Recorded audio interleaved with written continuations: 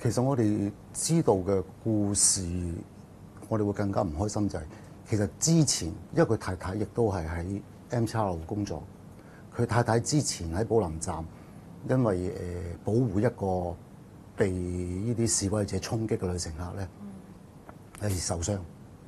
咁佢當時係，我估計佢當時係去探望佢太太。誒嗰啲示威者係，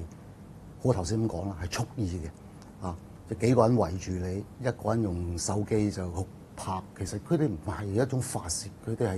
要有計劃，要將成個羞辱你嘅過程咧擺上誒公開，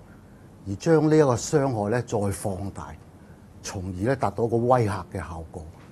呢個係會令到我哋所有港鐵同事咧睇到咧，心裏心裏邊都係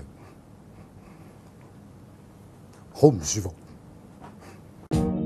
更多精彩尽在中国新闻网客户端。